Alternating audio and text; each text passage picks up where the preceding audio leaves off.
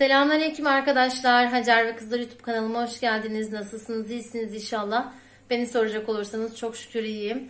Ee, kandiliniz mübarek olsun. Rabbim herkesin e, niyetini kabul etsin arkadaşlar. Niyetli olanlar varsa aramızda. Büyüklerimin ellerinden, küçüklerimin gözlerinden öperim. Herkesin kandilini kutluyorum. Ee, bize de ismen, e, ola, ismen de dua ederseniz çok mutlu olurum. Ee, dualar müşterek arkadaşlar. Ben de herkese dua edeceğim inşallah bu gece. Allah izin verirse.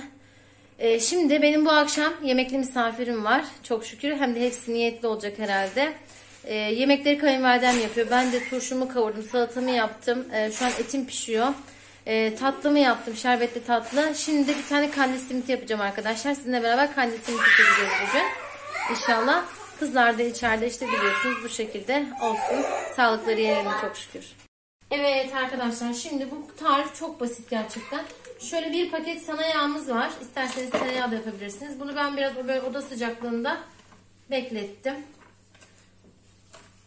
E bunun püf noktası önce bütün malzeme şu yüzümü çıkartın. Bütün malzemelerimizi koyuyoruz. Şimdi ben size söyleyeyim. E, bir e, bir paket e, tereyağı veya sana yağ fark etmez. E, bir sıvı bar bir çay bardağından biraz fazla sıvı yağ. Benim bu çay bardağım birazcık fazla olduğu için e, bununla ölçtüm.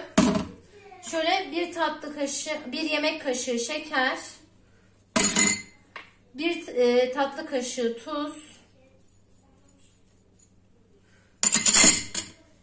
bir kaşık sirke, evde ne sirkeniz varsa, yumurtamın beyazını da içerisine atıyorum arkadaşlar. Yumurtalı bir yumurta, e, sarısı burada, beyazı burada arkadaşlar. Şimdi şöyle ilk önce bunları bir harmanlıyorum güzelce.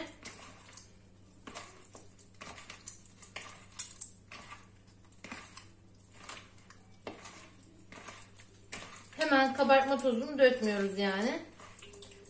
İlk önce bunları harmanlıyoruz. Birçok tarif denedim arkadaşlar. Ama e, kandi simitinde en güzel tarif yani e, hep parçalanıyor, birleşmiyor falan. Bu tarif çok güzel birleşiyor gerçekten. Şimdi akşama da misafirim var ya. Şu e, tatlıma da bir bakmam lazım. Şimdi onu alacağım. Biraz soğuk çıkınca şerbetini üzerine dökeceğim. Revani yaptım arkadaşlar normal. Bugün biliyorsunuz evde taneli yemek pişirmek çok sevap. Akşamdan kuru fasulyemi ıslatmıştım. Et yemeği yaptım. Kayınvalidem kuru fasulyeyi falan pişirecek. Ondan sonra mercimek çorbası. Taneli yiyecek yapmak çok sevap bugün. Evimize alışveriş yapmak çok sevap. Özellikle taneli yiyecek alışverişi hani böyle bulgur, ondan sonra kuru fasulye, ondan sonra elimizden geldiği kadar böyle ihtiyaç sahibi insanlar varsa etrafımızda komşumuz işte onlara mesela hiçbir şey alamıyorsak da bir tuz, bir bir şey, bir tuz ekmek yani hani vermek çok sevap. Rabbim herkesin niyetini kabul etsin inşallah. Şimdi bunu böyle görmüş olduğunuz gibi harmanladım güzelce.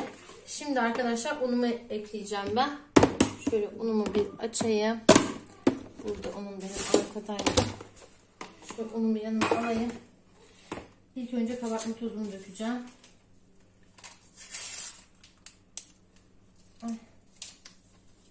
Şöyle. Bir paket kabartma tozu.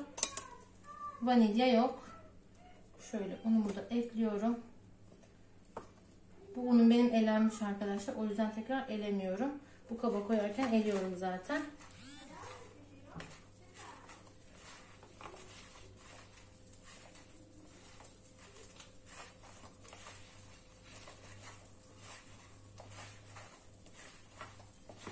Şimdi ben bir tatlımı çıkarmam lazım ama bir bakayım bir daha. Evet bu olmuş. Ben bir tatlımı çıkarayım. Tatlımı çıkardım. Az bir sıcaklığa gitsin. Şerbetimi dökeceğim. Turşumu kavurdum. Şöyle unumu ekleyeceğim arkadaşlar. Çünkü yağ olduğu için unu çeker. Göz kararı.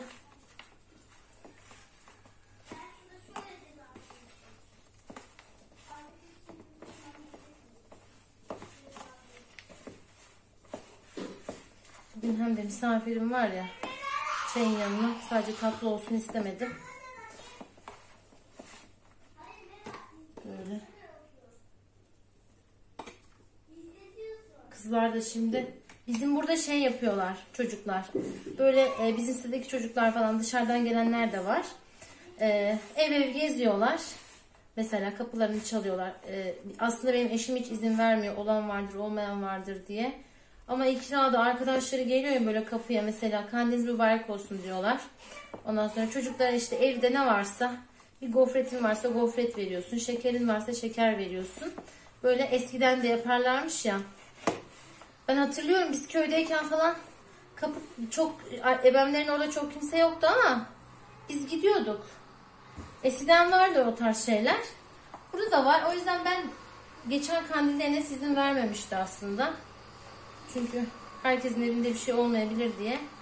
Ama ne bileyim yani herkesin çocuğu geldikten sonra da ben de bu sefer izin verdim. İnşallah böyle Meva ile binadakileri siteye gitmeyecekler de sadece binadakileri gezip kandillerini kutlayacaklar. Yani çocuklar en azından bir şeyler görsünler istiyorum ya. Bir şeyler öğrensinler.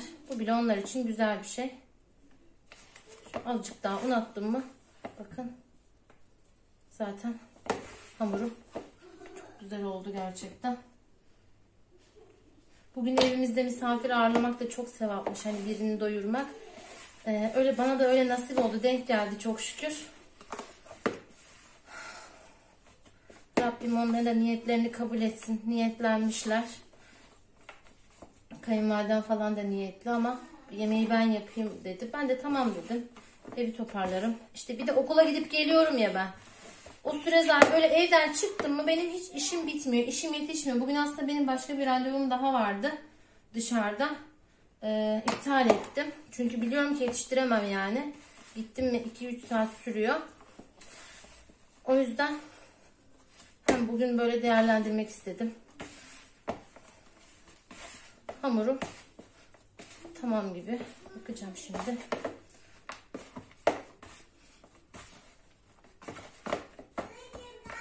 Benim evde şu an susam yok. Çörek otu var. İsterseniz haşhaşınız varsa haşhaş da kullanabilirsiniz. Ee, sonra keten tohumu oluyor mesela.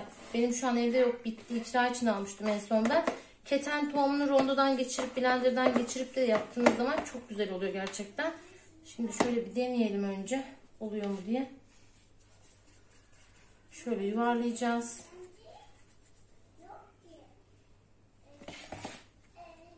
Şöyle.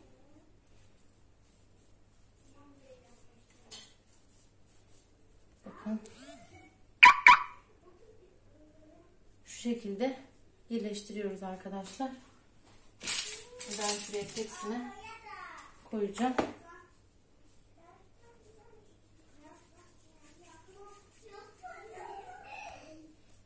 Bakın hiç hiç şey zorlamıyor yani şey sizi hamur sizi hiç zorlamıyor.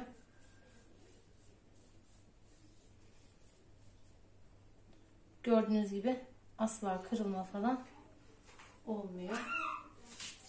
Maşallah çok güzel oldu hamurum. Hamurumun şöyle kıvamını görebiliyorsunuz arkadaşlar. Kızlar da benim videomu çekip bitirmemi bekliyorlar. Çıkacaklar. Dedim şimdi video çekerken size bakamam ben ikram. Bir de bu sefer Meva da çıkmak istiyor. Söylemiş ona ben gideceğim diye.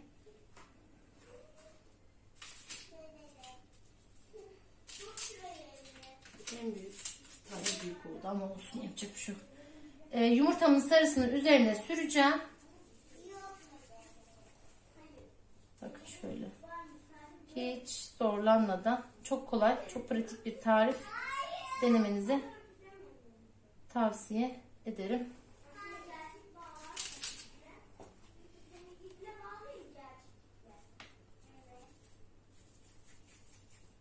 Biraz küçük oldu. Sadece yuvarlayıp uzatıyoruz arkadaşlar bu şekilde. Asla kırılma olmuyor.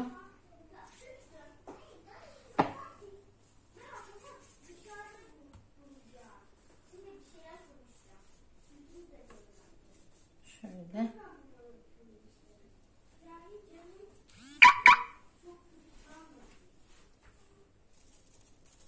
Bugün de kandil ya. Mesaj üstüne mesaj. Çok özür dilerim ben. Unutmuşum. Telefonumun sesini kapatmayı.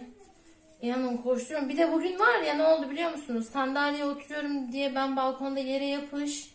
Kolum ters döndü yani ama şu an iyiyim çok şükür.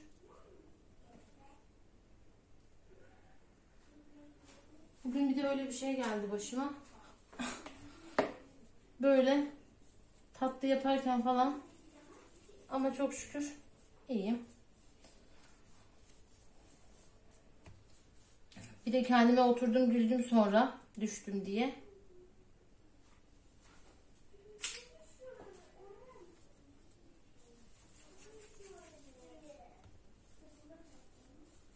Görüyorsunuz ne kadar hamur kolay açılıyor.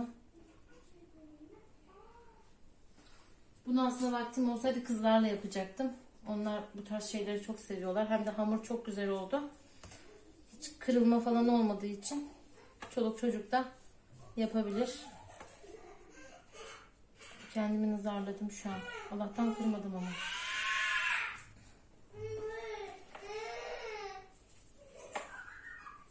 Sizin evde de böyle mi arkadaşlar? Bıcır bıcır bıcır bıcır bizim kızlar var ya. Sonra yattıkları zaman da böyle evde bir yokluk. Şu an duyuyorsunuz. Birbirlerini şey yapıyorlar, hallediyorlar. Yattıkları zaman da elim kolum boş kalıyor. Diyorum niye erken yatırdım? Olsalar dert, olmasalar dert. Çok şükür bugünümüze.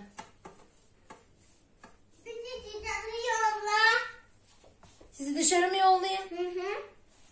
Tabii ki yollayacağım. Tabii ki. Dışarı yolla. Bir sonra koşulu yapsana. Ne yapayım? Bir sonra koşulu yapsana. Ben de onu yapacağım. Hayır anneciğim vaktimiz yok bebeğim daha. e, Hayır aşkım daha evi silip süpüreceğim. yapacağım. Dün ince temizlik yapmıştım ama bugün tekrar Hayır hamur yapacağım. hamur yapamazsın şimdi. Ama söz size yaptıracağım bunu tamam mı? Sizinle video çekeceğiz. Hayır. Yapacağım. Bağırmak yok. Yapacağım. Hayır. Yapacağım. Meva sandalye falan getirme bak.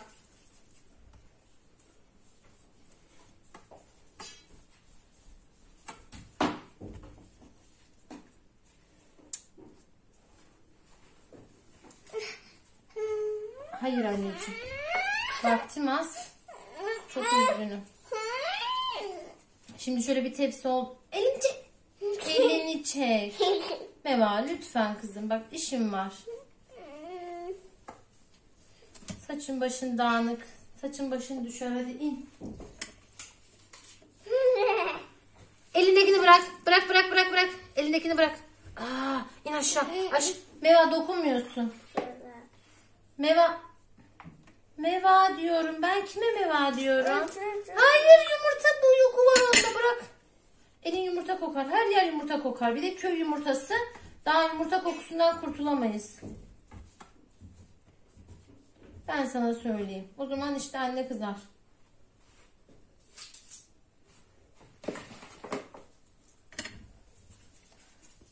Halletmeden, fark ettirmeden hala dokunma çabaları. Bırakır mısın? Evet arkadaşlar şimdi ben bir testini yaptım. Gideyim bir tatlımın şerbetini dökeyim. Ondan sonra devam edelim. Evet şöyle görmüş olduğunuz gibi yumurtamı sürdüm. Üzerine çörek otu döktüm. İsterseniz haşhaş da dökebilirsiniz mavi haşhaş. İsterseniz keten tohumunuz varsa blenderdan çekip onu da döktüğünüz zaman çok lezzetli oluyor. Ben bunları da böyle çörek otsuz yapacağım. Gerçekten çok güzel oluyor arkadaşlar. Ee, ben de ne bileyim böyle çörek otsuz daha çok seviyorum. Böyle e, hani normalde hazırında da böyle sadesi var ya susamsızı falan. Susamım yoktu evde. O yüzden böyle çörek otuyla, çörek otuyla değerlendirdim. Hemen görüyorsunuz şipşak çok kolay bir tarif. Şimdi onları ben fırına bir yollayacağım. Ondan sonra pişince görüşürüz inşallah. Hayırlı kandiller. Hayırlı kandiller. Ben de sizi çok öpüyorum. Büyüklerinizin ellerinden öpün. Evet, İkra ile Meva sizin kendinizi kutluyorlar. Kandilin bu kadar olsun. Şekerimizi koyun. Sıraç geldi kapıyı açın koşun. Evet, evet arkadaşlar şöyle görmüş olduğunuz gibi kandil simitlerim pişti. Şöyle bir tane bakın kıyır kıyır çok güzel. Bugün akşam hepsini yiyecekler inşallah. Böyle bereketli de oluyor yani gerçekten az da çıkmadı. Çok güzel. Böyle görmüş olduğunuz gibi yiyenlere afiyet şifa olsun. Tarifimi denerseniz eee, mutlaka yorumlara yazmanızı bekliyorum. Bir dahaki videomda görüşmek üzere. Hoşçakalın. Allah'a emanet olun.